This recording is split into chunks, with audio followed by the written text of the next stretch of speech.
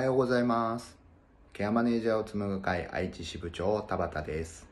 ケアマネあるあるいきます。モニタリング訪問を頑張ってる日、一日に何回コンビニに寄るのかなと考えてしまう。ちなみに私はセブンイレブンが好きです。愛知には昔サークル K っていうコンビニがありました。知ってますか？コンビニではトイレも借りるしお昼ご飯も食べるし利用表も印刷してます。コンビニにとっても助けられてます。ありがとうございます。